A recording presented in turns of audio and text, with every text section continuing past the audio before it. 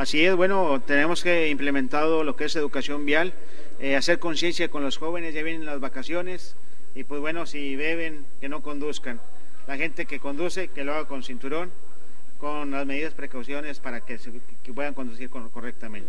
Señor Carvillo, también tenemos ahí la adquisición de pues, licencias para manejar. Eh, ¿Cuál es el costo y cómo usted está respondiendo a la gente?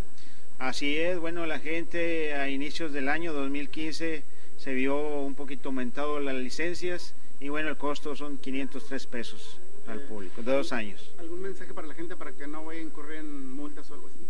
Bueno, le sugerimos que toda la gente lleve principalmente los documentos necesarios cuando conduzcan, la licencia, la tarjeta de circulación y que lo hagan eh, con precaución todas las conducciones que hagan. ¿Cuáles son los requisitos para adquirir la licencia?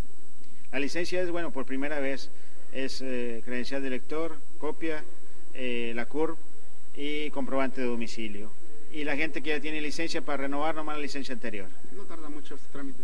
aproximadamente cinco minutos, es rápido, es rápido.